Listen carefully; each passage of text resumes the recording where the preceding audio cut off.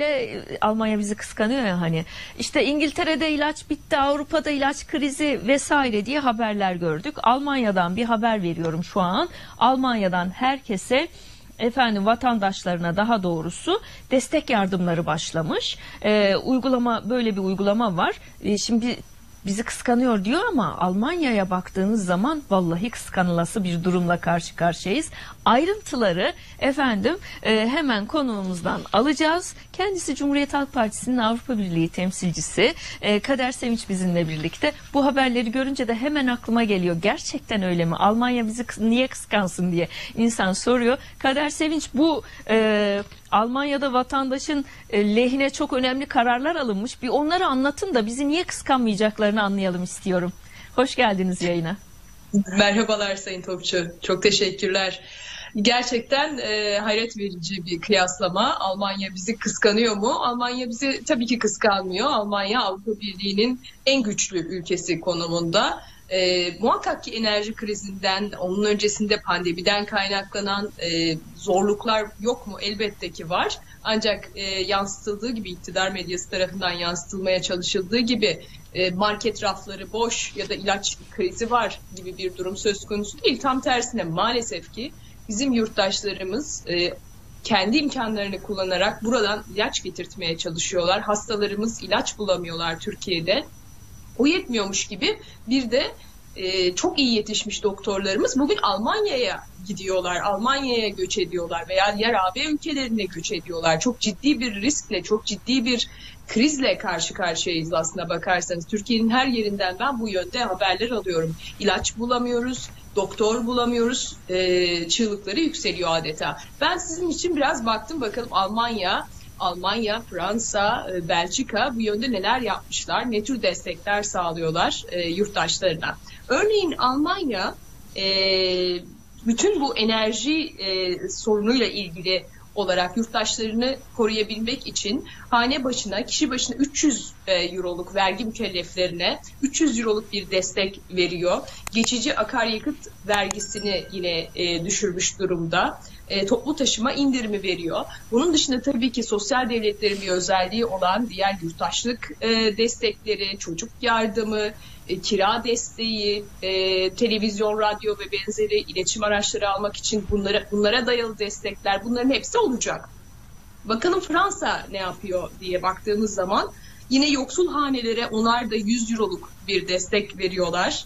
E, doğalgaz fiyatlarını mesela dondurdu Fransa. Fransa'da Almanya'da bazı enerji şirketlerini devletleştirdi. Onların içindeki e, özel sektörün payını da alarak bazıları zaten devlet iştirakiyle olan şirketlerdi. Onları da alarak tamamen devletleştirdi. Bizde hani beşli çetelere soyduruluyor ya yurttaşlar. Bunun tam tersini yapıyor Fransa'da, Almanya'da şu anda. Yurttaşını bu enerji şirketlerine ezdirmiyor. Hatta bu enerji şirketlerine AB çapında da çok büyük bir baskı uygulanıyor devletler tarafından ve bir kota konuyor. Artışı şu sınırın üzerine çıkartamazsınız deniyor.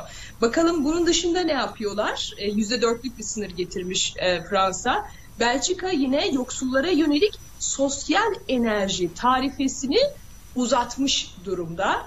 Bakıyoruz e, yine evini kalorifer yakıtıyla ısıtanlara yönelik 225 euroluk bir çek sunuluyor. Yine elektrik faturalarına katkı için 300 euroluk bir çek e, sunuluyor. Benzin ve motorinde özel tüketim vergileri indiriliyor. Bunu uzatabiliriz. Gerçekten liste çok çok uzun. AB ülkelerine de tek tek baktığınızda rakamlar e, birbirine göre ülkelerin büyüklüğüne küçüklüğüne göre değişmekle beraber 3 aşağı 5 yukarı bu şekilde. Kader Sevinç Evet, e, devam edersiniz de bir pe- e, bir araya girmek istedim. Bir parantez açacağım. E, sevgili meslektaşım Müşerref Seçkin de soruyor. Raflar boş mu diyor Avrupa'da? Şimdi Hatta tamamen dolu.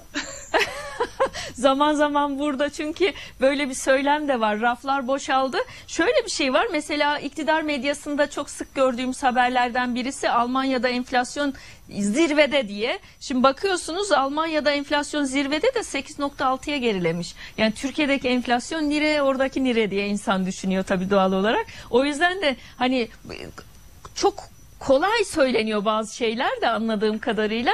Ee, hiç mi boş değil raflar hakikaten? Yok buradan sayın seçkine de selam olsun. Gerçekten raflar dolu. Ee, her hafta işte gidiyoruz marketlere. Marketlerde raflar dolu ve aradığımız bir ürünü bulamamak diye bir şeyle karşı karşıya değiliz. Az önce enflasyon konusunu açtınız. Gerçekten e, çok önemli. Türkiye'dekiyle, Türkiye'deki bugünkü durumla yüzde seksenler düzeyinde resmi rakamlarla Avrupa Birliği'nde bugün yaşanan enflasyon sorunu arasında dağlar kadar e, fark var. Bugün dediğiniz gibi yüzde sekizler seviyesine düştü. Yüzde onları bulduğunda bir alarm durumuna geçildi. E, o durumda o zaman Türkiye'de yurttaş ne yapsın ekonomide? Ekonomide yaşanan çöküntü e, tamamen savurganlık üzerine, beşli çetenin beslenmesi üzerine kurulmuş olan e, bir ekonomik düzen varken yurttaş ne yapsın? Bakınız yakın zamanda ne yaptılar? E, asgari ücreti güya yükselttiler değil mi? Asgari ücret yükseltilmiş haliyle bile yoksulluk sınırının altında. Ve bu yükseltme bile e, iki gün sonra fiyat artışlarıyla beraber zaten erimekte. Bununla e, Almanya bizi kıskanıyor diyen iktidarın gelsinler bakalım Almanya'da mesela asgari ücret ne kadarmış? Almanya'da asgari ücret 1621 euro seviyesinde, Fransa'da yine 1600 euro seviyesinde, Belçika'da 1658 euro seviyesinde. Bizde asgari ücret ise daha yeni yapılmış haliyle 427 euro seviyesinde.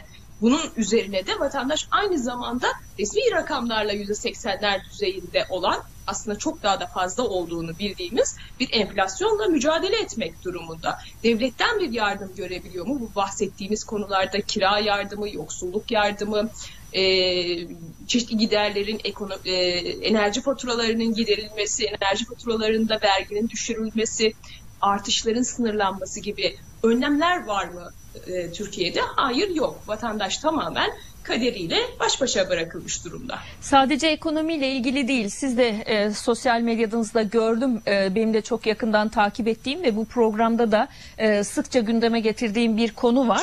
Sadece ekonomiyle ilgili değil. Bu kıskanma kıskanmama mevzusu ülkelerin yönetimiyle de ilgili. E, Avrupa'nın en büyük çöplüğünün Türkiye olduğu verisini de ekrana alalım. Gerçekten beni çok üzüyor bu konu. E, zaman zaman Türkiye'de e, bakan açıklama yaptı yok almayacağız etmeyeceğiz falan dedi ama veri çok net ortada. Şu an ekranda o veri sizin de paylaştığınız. Ee, Avrupa'nın en büyük çöplüğü aradaki farka bakar mısınız e, diğer ülkelerle? E, bütün çöpler Türkiye'ye geliyor öyle anlaşılıyor. Özellikle Adana haber olmuştu Türkiye'den. Bu çok üzücü ama hani bir yandan bizi kıskanıyorlar hikayesi yaratıp bir yandan da ülkenin e, kendi çöpünü ayıklayamazken Avrupa'nın çöplüğü haline getirilmesi gerçekten çok üzücü diye düşünüyorum. Ne dersiniz? Çok güzel bir konuya temas ettiniz. Evet ben de geçen gün paylaşmıştım bu konuyu. E, bu gerçekten ülkemiz adına çok onur kırıcı bir durum. Neden? Çünkü e, Avrupa Birliği artık Türkiye'yi öylesine bir üçüncü ülke pozisyonuna tabii artık itmiş durumda ki iktidar sebebiyle, iktidarın Türkiye'yi dönüştürdüğü e, ülke olması sebebiyle öyle bir noktaya geldik ki yani demokratikleşme anlamında artık neredeyse üçüncü dünya ülkesi seviyesine gelmiş durumdayız. Yolsuzluklara bakıyorsunuz keza yine öyle. Kurumların e, saydamlığına bakıyorsunuz, hesap verebilirliğine bakıyorsunuz keza yine öyle. Ve isteyerek ve bilerek mevcut iktidar Türkiye'yi Avrupa Birliği ile ilişkilerde aynen işte buna çevirmiş durumda. Çöplerinizi mi istemiyorsunuz? Bunları e, dönüştüremiyor musunuz? Gönderin bize. Bu hiç Türkiye'ye layık bir tablo mudur? Türkiye Avrupa Birliği'nin istemediği çöpleri hem de bu seviyede, bu düzeyde, en yüksek düzeyde alacak bir ülke midir? Tam tersine Türkiye bu konularda çok daha ileri gitmesi gereken çevresine, doğasına muazzam bir doğası olan bir ülke Türkiye. Çevresine, doğasına çok daha fazla sahip çıkması gereken, ona saygı göstermesi gereken bir ülke. Ancak bu iktidarın elinde bütün kaynaklarımız tüketildiği gibi işte görüyorsunuz doğamız da tüketiliyor, kaynaklarımız da tüketiliyor. Aynı şey göç meselesinde de yaşandı biliyoruz ki. Avrupa Birliği ülkelerinin kendilerinin kabul etmek istemediği oranda sayıda göçmen Türkiye'ye yönlendirildi. Türkiye'de tutulması istendi ve bu iktidar bunu kabul etti. Biz Türkiye'nin kesinlikle Avrupa Birliği'nin veya herhangi bir ülkenin göçmen taşeronu olmasını da çöp taşeronu olmasını da kabul etmiyoruz. Türkiye bundan çok daha iyisini hak ediyor. Türkiye çok daha mutlu insanların ülkesi olmayı hak ediyor. Ama bu iktidarla bu çok mümkün görünmüyor maalesef. Çok üzücü gerçekten. Yine iktidar medyasından gideceğim ve son bir soru daha soracağım size. Ee, iktidar medyasında bu hafta Avrupa'daki ilaç krizinden söz edildi ki ben biliyorum e, yine bunu da çok üzerinde durarak yapıyoruz. Türkiye'de e, döviz kuru fiyatlanması değiştirildi. Sizin de ifade ettiğiniz gibi ciddi ilaç sıkıntısı var. %36.77 oranında artış yapılmasına rağmen e, bazı uzmanların özellikle vurguladığı e, krizin e, bitirilmediği ve e, pusuda beklediğine ilişkin e, ilaçtaki ham madde girdisinin düşürülmesi gerektiğine ilişkin uzmanların uyarıları var. Bunlara kulak asılmıyor. İktidar medyası da bunları haber yapmıyor. Ama şöyle bir propaganda yapıldı bu hafta e, iktidar medyasında Avrupa'daki ilaç krizi. E, nedir bu ilaç krizi? E, dikkatinizi çekti mi sizin de? Özellikle e, Fransa söz konusu anladığım kadarıyla.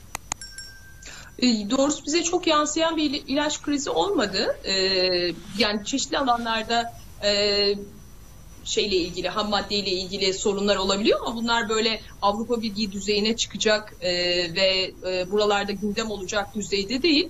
Ama Türkiye ile ilgili sıkça burada da gündem olan bir ilaç krizi söz konusu. Türkiye'de sadece ilaç krizi değil, biraz önce bahsettiğim gibi doktorlar meselesi, doktor konusu da yani sağlık çalışanları sadece doktorlar değil. E, çok iyi doktorlarımız var. Türkiye gerçekten bu konuda hiç e, alçak gönüllü olmamak gerekir. Türkiye'de Türkiye'nin sağlık çalışanları aldıkları eğitimle, e, sahip oldukları deneyimle Avrupa Birliği'nin pek çok ülkesine işte gerçekten kıskanılacak taraf budur. E, gerçekten taş çıkartabilecek kadar yetkinler, iyiler. Ancak giderseniz gidin denilen, sürekli şiddete uğrayan, e, ücret seviyeleri hiçbir şekilde dünya standartıyla kıyaslanmayacak, kıyaslanamayacak durumda olan ve sürekli bir mobbinge ve baskıya maruz kalan sağlık ta- çalışanlarını da tabii ki bu ülkeler, Avrupa Birliği ülkeleri ve dünyanın değişik yerlerinden onları çekmeye çalışıyorlar. Türkiye'de şu anda çok ciddi bir sağlık sistemi kriziyle karşı karşıyayız. Maalesef. Çok teşekkür ediyorum. Aydınlattınız bizi. İllüzyonlar yaratılıyor. Biz de bu programda illüzyonları bozmayı kendimize bir dert edindik. Kader Sevinç. Sağ olun yardımcı olduğunuz için. Ben çok teşekkür ederim. İyi yayınlar.